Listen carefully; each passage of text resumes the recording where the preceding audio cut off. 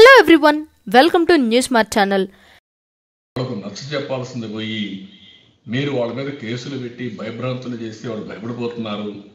కొంతమంది చనిపోయారు. అలాంటి సంఘటనలు చాలా జరిగాయి. మందురుకు పోతూ వాడిని కొట్టి వాడు చనిపోయే పరిస్థితికి వచ్చారు. ఇంకొక పక్కన టీకి వస్తే వీడు రావడం రావడం వచ్చే కొద్ది పారిపోయే కొద్ది బయలుదేరే కొద్దికి ఆల్ ఆఫ్ పరిగెత్తి ఆ తొక్కిళ్ళు చనిపోయే పరిస్థితి వచ్చి చాలా మంది మరి చనిపోయారు. అలాంటిది ఈరోజు మీరు ఒక్కసారి చూస్తే మొత్తం కూరగాయలు లేకుండా అవస్థపడ్డారు బియ్యం లేకుండా అవస్థపడ్డారు నిత్యావసర వస్తువులు లేకుండా అవస్థపడ్డారు. కడాన బార్బర్ షాప్కి లేకపోతే లాండ్రీకి పోకుండా కూడా ప్రజలు త్యాగం చేశారు. నిన్న all of a shutter liquor షాపులన్నీ తెరిచారు. నేను అడుగుతున్నా ఈ ప్రభుత్వాన్ని. ఇది న్యాయమా అని అడుగుతున్నా మీరు ఏ విధంగా కరోనాని కట్టడి చేస్తారో చెప్పాల్సిన బాధ్యత మీ పైన ఉంది. నేను ఎన్నోసార్లు చెప్పాను మొదట్లో సజెషన్స్ ఇస్తే తీసుకోలేదు ఆల్ పార్టీ మీటింగ్ పెడితే పెట్టమని అడిగితే ఏమాత్రం లెక్క పెట్టుకోలేదు అదే సమయంలో వివిధ సమయాల్లో అన్ని రాజకీయ పార్టీలు మేధావులు వీళ్ళకి సజెషన్స్ ఇచ్చినా లెక్క పెట్టుకోకుండా ఇష్టానుసారం ఎదురుదాడి చేసే పరిస్థితికి వచ్చాను కడాను నిన్న చూస్తే విచ్చలబెడతారు కొన్ని వేల లిక్కర్ షాపులు తెలిసాను అంత మునుపు బయట వస్తే కేసులు పెట్టిన మీరు నిన్న లిక్కర్ షాపులు రెగ్యులేట్ చేయడానికి పోలీసులు పెట్టి రెగ్యులేట్ చేస్తారా మీరు? ఆ మాత్రం ఆలోచన మీకు లేదా? ఆ మాత్రం ఇంగిత జ్ఞానం మీకు లేదా? టీచర్లు పెట్టి లిక్కర్ షాపులు రెగ్యులేట్ చేస్తారా మీరు? చదువు చెప్పవలసిన టీచర్లు బ్రాందీ షాప్ దగ్గరికి వెళ్ళి ఆ బ్రాందీ షాప్లో ఉండే క్యూని మెయింటైన్ చేయాలా? ఇది ఎక్కడ న్యాయం? ఏంటి ఆలోచన? అంటే నిన్న మనం చూస్తే ఆ సీన్లు చూసినప్పుడు నాకు చాలా బాధేసింది. మనసు కలిసి వేసింది ఏంటి ఇన్ని రోజులు మనం చేసిన త్యాగాలేంటి? మీకు ఒక క్రమశిక్షణ లేదు. ఈరోజు లాక్డౌన్ వన్ అండ్ టూ అంటే నా జీవితంలో ఎప్పుడు కూడా ఇంట్లో ఉండేవాడిని కాదు. అలాంటి వ్యక్తిని ఫస్ట్ టైం చట్టాన్ని గౌరవించాలని నేను హైదరాబాద్కు వస్తే ఇక్కడే ఉండిపోయాను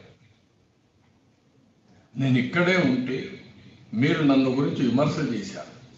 మీరు చేసిన పని ఏంటి అదే సమయంలో మనం ఒకసారి చూస్తే నిన్న ఒక్క రోజు బయట వచ్చి విపరీతంగా ఒక ఐదు ఆరు మంది చనిపోయారు ఆరు మంది చనిపోయారు ఒక్క రోజులో ఇవి ఎప్పటి నుంచో చెప్తున్నాం. ఏది కూడా అతిగా పోతే చాలా సమస్యలు వస్తాయి. జాగ్రత్తగా ఉండాలని చెప్తూ వచ్చాం. ఒక్క నెల్లూరు జిల్లాలో ముగ్గురు చనిపోయారు. ఒక అతను ఘర్షణ పడితే ఒక అతను చనిపేశాడు ఒక అతను రోడ్ యాక్సిడెంట్లో చనిపోతే నెలలో పెళ్ళి కావాల్సిన వ్యక్తి యంగ్స్టర్. ఇంకొక పక్కన ఇంకొక అతన్ని చంపేసే పరిస్థితికి వచ్చారు. చిత్తూరు జిల్లాలో భార్య అమ్మాయి. తండ్రి తాగి వస్తే అడిగింది భార్య ఎందుకు మనకు డబ్బులు లేవు కదా ఎందుకు మరి చేస్తామని అడిగితే కొట్టాడు. దాంతో ఆ తల్లి పాప ఇద్దరు ఇంకా బతికి లాభం లేదని ఉరేసుకొని వాళ్ళు చనిపోయే పరిస్థితికి వచ్చారు. అదేవిధంగా ఇంకొక దగ్గర చూస్తే కూచినప్పుడులో ఒక వాచ్మెన్ ఆ వాచ్మెన్ చేసిన తప్పేంటంటే అక్కడ బ్రాండీ షాప్ ఉంది. స్టాక్ తెచ్చుకొని వెళ్ళిపోతున్నారు. అడ్డం పడితే అతను కొడితే ఆ మనస్తాపంతో ఆయన ఆత్మహత్య చేసుకునే పరిస్థితికి వచ్చాడు. ఇలాంటి సంఘటనలు ఏ విధంగా మీరు ఈరోజే పుల్లంపేటలో తాగి వచ్చి భార్యను నరికే పరిస్థితికి వచ్చారు? ఎన్ని వైలెన్స్ జరిగాయని అడుగుతున్నాను జగ్గయ్యపేట దగ్గర తాగిన బైక్లో పోతూ ఒక వృద్ధురాలి పైన యాక్సిడెంట్ చేస్తే ఆవిడ ప్రమాద పరిస్థితిలో హాస్పిటల్లో చేసే పరిస్థితి చేర్చే పరిస్థితికి వచ్చారు. రాష్ట్రం మొత్తం మహిళలు రోడ్డు మీదకి వచ్చారు. ఇంత కరోనా ఉన్న కడప జిల్లాలో పెనగలూరు బెస్తపల్లి విశాఖపట్నంలో వేపగుంట వడ్డాది మండలం కొత్తూరు నరసింగ నరసింగరావుపేటలో గుంటూరులో దుగ్గిరాల్లో పెదపాడల్లో కాకులూరు మండలం లింగాయపాడల్లో మాచవరం మండలం పిల్లుట్లలో. చిత్తూరు జిల్లా ఏర్పేటలో పాపానపేటలో బందార్లపల్లిలో నెల్లూరు జిల్లా భోగోల్ దగ్గర నాగులవరంలో. కోట మండలం గోవిందపల్లిలో. కృష్ణా జిల్లా పెదపారపూడి వెంట్రపగడ్లో మహిళలందరూ రోడ్డు మీదకి వచ్చి ఇలాంటి సమయంలో ఆందోళన చేశారు. నిన్న ఒక మహిళను చూశాను ఆవేదనతో రోడ్డు మీదకి వచ్చి పోలీసులతో ఆర్గ్యుమెంట్ పెట్టుకునే పరిస్థితికి వచ్చింది. మేము త్యాగాలు చేశాం. మాకు యాభై శాతం జీతాలు కట్ చేశాం మేము అయినా పర్వాలేదు కష్టాలు అనుకున్నాం. ప్రజల బాగు కోసమని ఆలోచించాం. ఈ రోజు మీరు చేసే పని ఇక్కడ చూస్తా ఉంటే కడుపు కాలిపోతుంది. ఇంతమంది ఏంటి? దీనివల్ల కరోనా ఏ విధంగా నియంత్రణ చేస్తారు మీరు? మా ప్రాణాలు ఏమవుతాయి? మా జీవితాలు ఏమవుతాయి? మా జీవితాలతో ఆడుకుంటారా మీరని చెప్పి పోలీసులు నిలదీస్తే నీకే పని నువ్వుకే పని వెళ్ళిపోనే పరిస్థితికి వచ్చారు. ఒక వ్యక్తి ఆవేదన. ఏంటి సమాజంలో వారికి అయిపోతా ఉంది? ప్రభుత్వం పరిదగిస్తే ఏమవుతుంది? అనే ఆవేదనతో అతను చాలా బాధపడిపోయి ఊగిసలాడే పరిస్థితికి వచ్చాడు. నిస్సహాయ పరిస్థితి ఒక చిన్న పాప వేడుకునింది ప్రభుత్వాన్ని. అరవై రోజులు నలభై రోజులు ఉన్నాం. మా కుటుంబం అంతా కూడా ఆనందంగా ఉన్నాం. అలవాటైంది. ఇలాంటి సమయంలో ఎందుకు మీరు తొందరపడి ఈ మద్యం షాపును తెరుస్తారు? మా మీద కరుణ లేదా అని ఒక చిన్న పాపం వేడుకునే పరిస్థితి వచ్చిందంటే ఇది వీళ్ళందరూ ఆలోచించాల్సిన అవసరం ఉంది. నిన్న నేను అడుగుతున్నా. ఎంత దుర్మార్గం అండి దీంట్లో? ఏంటి రేటు? రేటు పెంచుకుంటూ పోతే తాగేవాళ్ళు తగ్గి తగ్గి మద్యపాన నిషేధం జరుగుతుంది. అది వీళ్ళు ఇచ్చే తిరిగి. నిన్న ఇరవై ఐదు పర్సెంట్ పెంచారు. ఈరోజు యాభై పర్సెంట్ పెంచారు. ఇంత మునిపే రేట్లు విపరీతంగా పెంచారు. ఒకవేళ ఎవడైనా తాగేవాడు అర్థం తాగినా ముందు ధర ఎంత ఉందో అంత ధర ఉండే పరిస్థితి వచ్చింది. మొన్న ఒక ఆడబిడ్డ చెప్తా ఉంది. మీరు మద్యపాన నిషేధం అని పేరు పెట్టి అన్నీ కూడా తప్పుడు బ్రాండ్స్ మీరు ప్రమోట్ చేశారు. దేశం కానీ ప్రపంచం కానీ కొన్ని కొన్ని బ్రాండ్స్ ఉన్నాయి. ఆ క్వాలిటీని బట్టి అందులో ఉండే నాణ్యతను బట్టి వాళ్ళు ఒక తాగే పరిస్థితి ఓవర్ పీరియడ్ ఆఫ్ టైం ఏర్పరచుకున్నారు. వాళ్ళ యొక్క ఆర్థిక పరిస్థితి ఆరోగ్య పరిస్థితి చూసుకొని చేశారు. మీరేం చేశారు ఇప్పుడు? అలాంటి బ్రాండ్స్ మీరు డిసైడ్ చేస్తారా?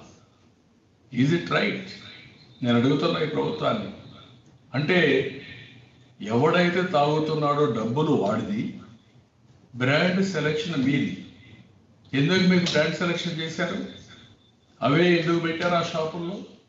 అంటే కక్కుర్తి కాదా? డబ్బులు కాదా? అక్కడి నుంచి మీరు ఒకసారి చూస్తే ఒక ఉదాహరణ. నూట యాభై రూపాయలు అమ్మే ఒక క్వార్టర్ బాటిల్. ఏదైనా ఒక ఎగ్జాంపుల్ తీసుకుంటే. ఈరోజు మూడు వందల రూపాయలు అమ్మితే సగం తాగినా నాలుగు వేల రూపాయలు అయిపోతుంది. ఒకప్పుడు వాడు తాగినా కొంత డబ్బులు ఇంటికన్నా పోయింది.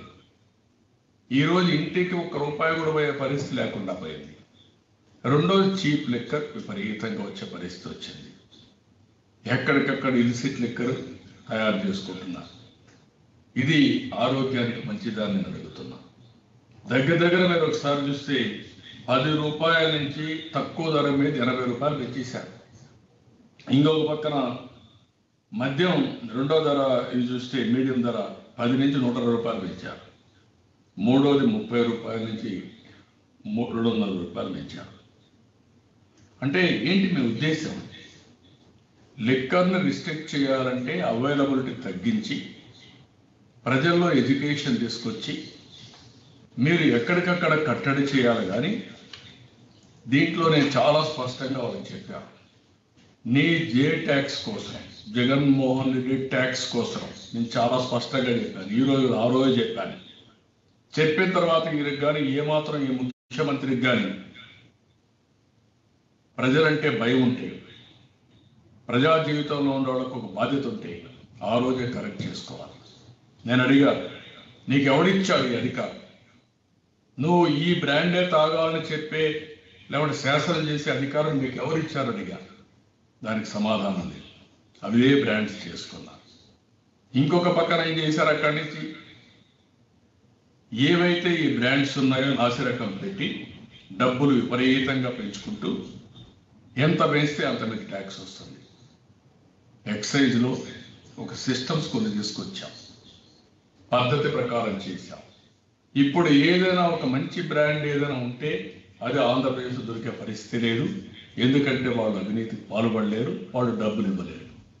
దీనికంటే దుర్మార్గమైన కార్యక్రమం ఏమైనా ఉందని అడుగుతున్నా. మీరు కానీ మద్యపాన నిషేధం చేయాలనుకుంటే దీనికంటే సరైన సమయం ఉందండి. నలభై రోజులు తాగలేదు. అలవాటు చేసుకున్నారు. ఇదే అలవాటు చేయండి మీరు. ఎందుకు మళ్ళా ఓపెన్ చేసి ఫ్లడ్ గేట్స్ ఎందుకు ఓపెన్ చేశారు? దీనికి సమాధానం చెప్పండి మీరు. దానికి సమాధానం చెప్పే పరిస్థితి లేదు. ఎందుకు సెలెక్ట్ బ్రాండ్స్ పెట్టారో చెప్పే పరిస్థితి లేదు. నిన్న అంత తొందరపాటు ఎందుకండి? సౌత్ ఇండియాలో ఎవరు ఓపెన్ చేయలేదు? ఎందుకు మీకు అంత ఆత్రం? ఇమ్మీడియట్గా లాక్డౌన్ త్రీ వస్తానే ఇమ్మీడియట్గా లిఫ్ట్ చేసి కనీసం ఇంగిత జ్ఞానం లేకుండా కొన్ని వేల మంది క్యూలో నిలబడుకొని పొరుగు రాష్ట్రాల వాళ్ళు కూడా వచ్చి ఇక్కడ తాగే పరిస్థితి వస్తే లాండ్ ఆర్డర్ పరిస్థితి సృష్టించే పరిస్థితికి వస్తే ఏ విధంగా మీరు సమాధానం చెప్తారని అడుగుతున్నాను ఈ వీడియో కనుక మీకు నచ్చినట్లయితే లైక్ చేయండి మీ అభిప్రాయాన్ని కామెంట్ చేయండి మీ వారందరికీ షేర్ చేయండి. మరిన్ని ఇంట్రెస్టింగ్ అప్డేట్స్ కోసం మా ఛానల్ని సబ్స్క్రైబ్ చేసుకోవడం మాత్రం మర్చిపోకండి.